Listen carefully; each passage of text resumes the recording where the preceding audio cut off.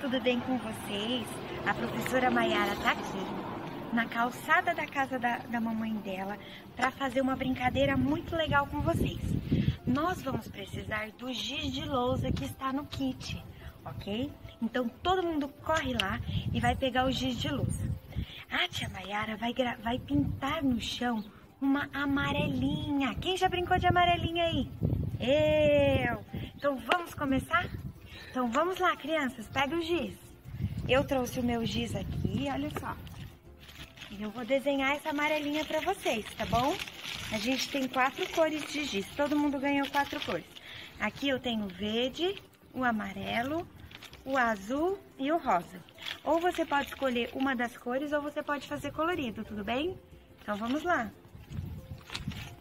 Primeiro a gente vai fazer um retângulo. Bem bonito. Olha só, a mamãe e o papai podem ajudar. Um retângulo. Faz mais dois retângulos, olha só. Um aqui e o outro aqui. Muito bem, agora eu vou usar a cor azul. Vou fazer mais um retângulo, agora é só um.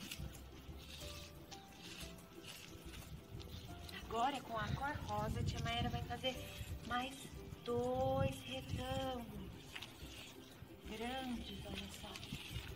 A gente corta no meio. E agora com giz amarelo, mais um retângulo. Seis, sete. Mais dois retângulos.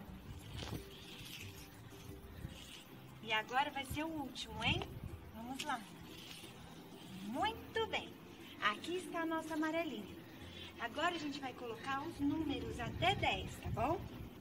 Então vamos começar. A minha amarelinha vai começar por aqui.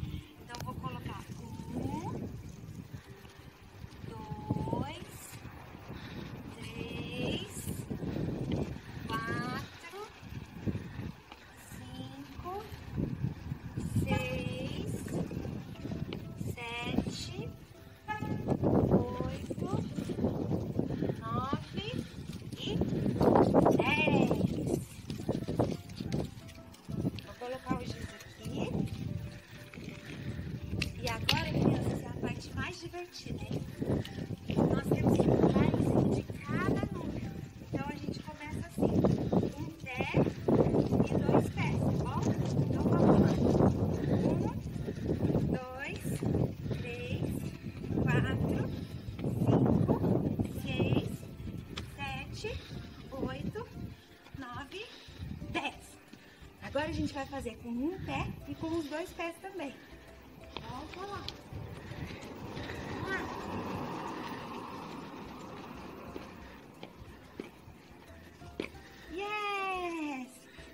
Quiser brincar, é, como você brinca com a amarelinha mesmo, você pode amassar aquele papelzinho ou pegar uma pedrinha e você joga e no número que parar você não pode pisar.